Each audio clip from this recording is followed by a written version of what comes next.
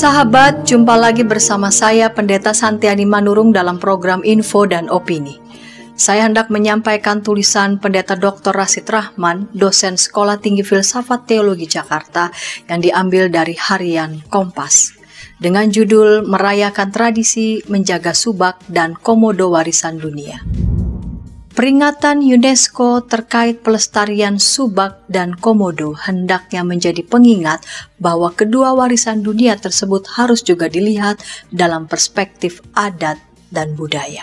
Harian Kompas, Rabu 4 Agustus 2021 halaman 15 memuat berita bahwa UNESCO kembali menyampaikan peringatan untuk Indonesia atas satu masalah, yakni budaya, dengan dua kasus. Kasus pertama, Subak Lanskap di Catur Angga Batu Karu yang dikenal sebagai objek wisata persawahan berundak-undak di Jatiluwih.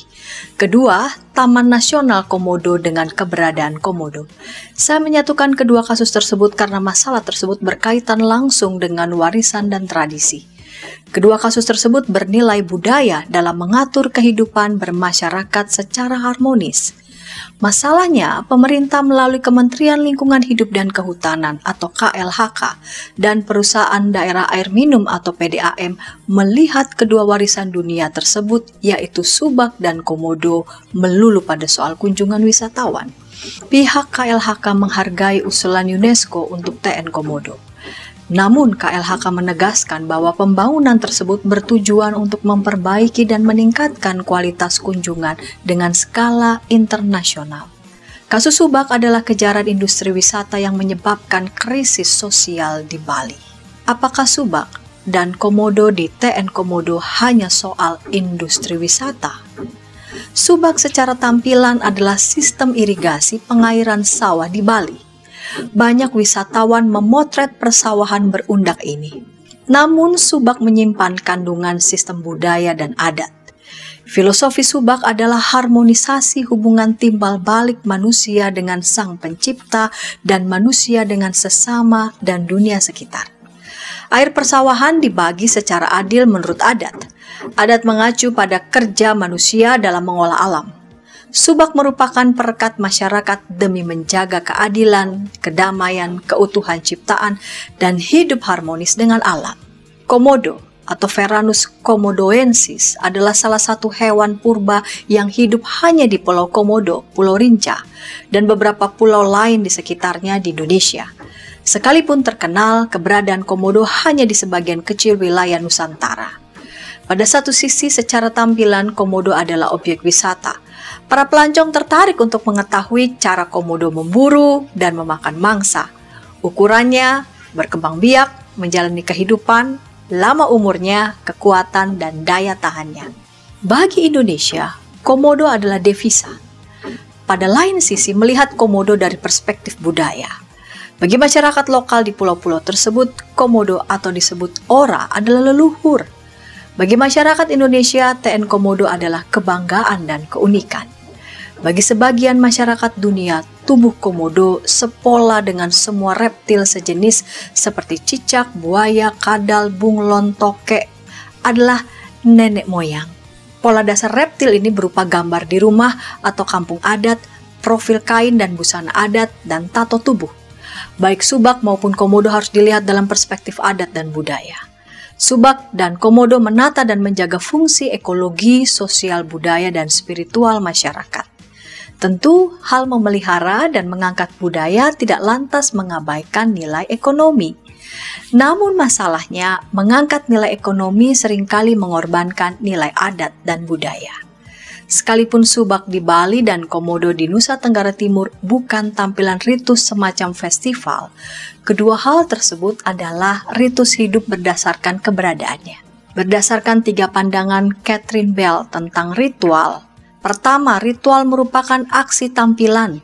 Ritus menampilkan kebiasaan dan rutinitas tanpa rencana dan berjalan dengan sendirinya karena didorong oleh gelora dan dinamika kehidupan yang terekspresi secara fisik. Ritual hidup mampu bertahan selama berada di habitatnya secara alami. Indonesia menyimpan kekayaan hewani dan alami yang dipelihara oleh masyarakat setempat. Hewan dan alam tetap terjaga dengan baik selama terjaga habitatnya, yaitu lingkungan tanah, air, udara, dan sistem kehidupannya. Sebaliknya, hewan dan alam menjadi bencana ketika manusia mengubah, sekalipun tidak sampai merusak habitat. Menjaga subak dan komodo adalah dengan membiarkan mereka hidup menurut cara alami di habitatnya. Memanjakan turis dengan resort, jembatan megah, dan jalan mulus akan membunuh kedua makhluk itu.